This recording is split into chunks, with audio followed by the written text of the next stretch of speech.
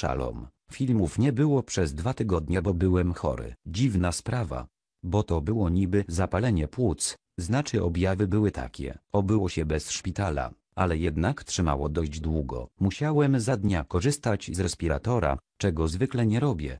Tak to wygląda. Jest to forma rehabilitacji. Ułatwia oddychanie i sprawia, że mięśnie są rozluźnione, przez co mniej bolą biodra na przykład. Można z tym mówić, jest to trudne. Czy da się nagrywać? Nie wiem, spróbuję. Zmarnowałem okres próbny Iwony. Kiedy to piszę został mi jeden dzień. Nie wiem czy kupować czy nie. Niby wam ta forma pasuje, ale wrzuciłem za mało by to jednoznacznie stwierdzić. Cena też ma wpływ na decyzję. No, to by było na tyle na dzisiaj. Trzymajcie się, hejo.